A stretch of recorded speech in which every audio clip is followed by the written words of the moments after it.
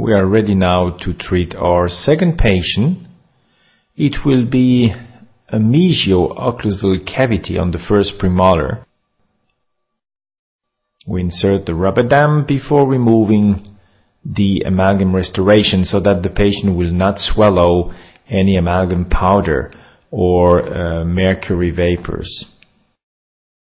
The amalgam is removed first with a carbide burr with high water volumes to make sure we will not evaporate mercury from the amalgam.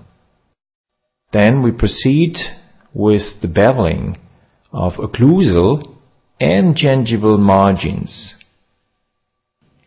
We see the prepared cavity with discolored but clean tissue. We insert now a sectional metal matrix which is stabilized with a special ring placed above the wedge so that we have a perfect adaptation of the matrix but also a separation, a good separation of the two teeth.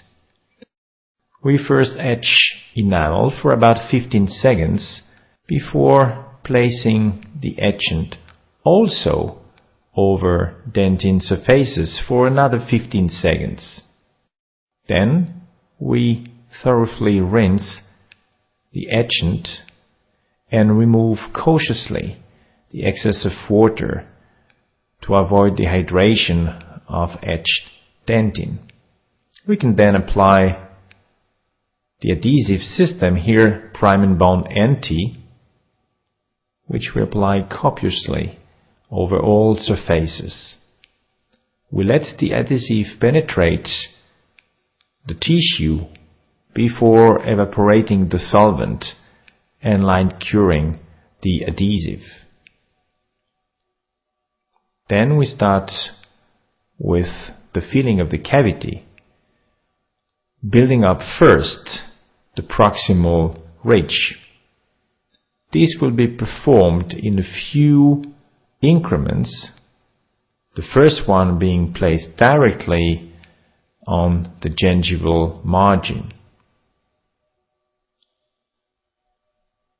We light cure each increment for about 10 seconds since the proximal ridge is built up with enamel. This is our second increment. We use the fine sculpting instrument to level the ridge and create the occlusal embrasure.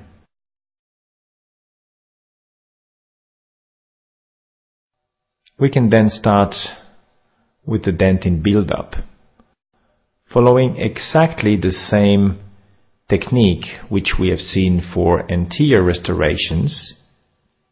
This means using dentin to replace missing dentin and enamel to replace missing enamel.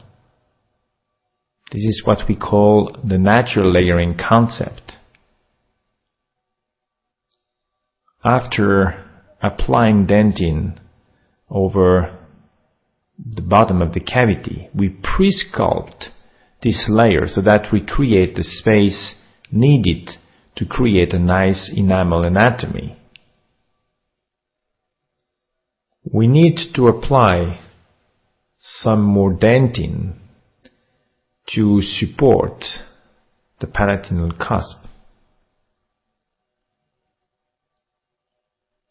We need to create about one millimeter of space for the last enamel layer so that we respect anatomical thicknesses of both tissues. We push the material first with a condenser and bring the material where we need it.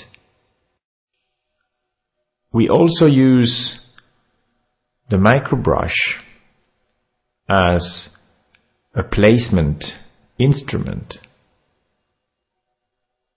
It helps to move the material where we want,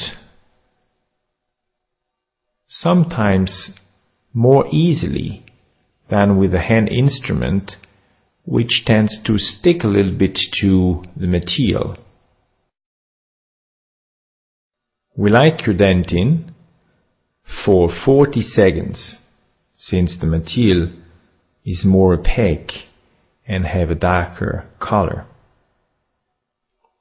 We inject now directly from the compule the enamel and try first to cover the entire cavity and the margins without trying to sculpt the surface.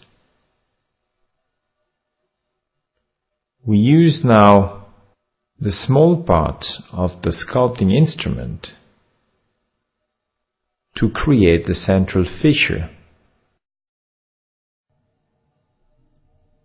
We insert a small amount of intensive color in the depth of the fissure to get a more natural effect. We try to simulate little imperfections which we can observe in nature, such as discolored fissures. We must remove the excess of color with the microbrush before light curing this intensive uh, color. Then we can directly start with the finishing of the restoration, first in the proximal area and the marginal ridge, and then the occlusal margins. A strip is finally inserted in the proximal area to smooth the gingival margin.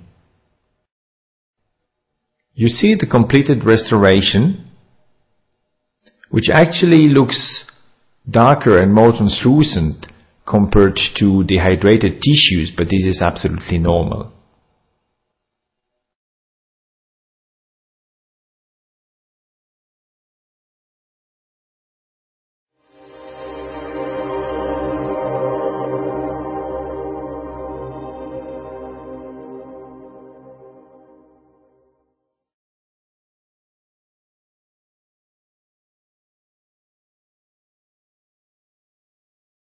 Thanks to a precise layering technique, a professional instrumentation, and creative sculpting approach, we could achieve here an optimal anatomical and functional result with Ceram X Duo.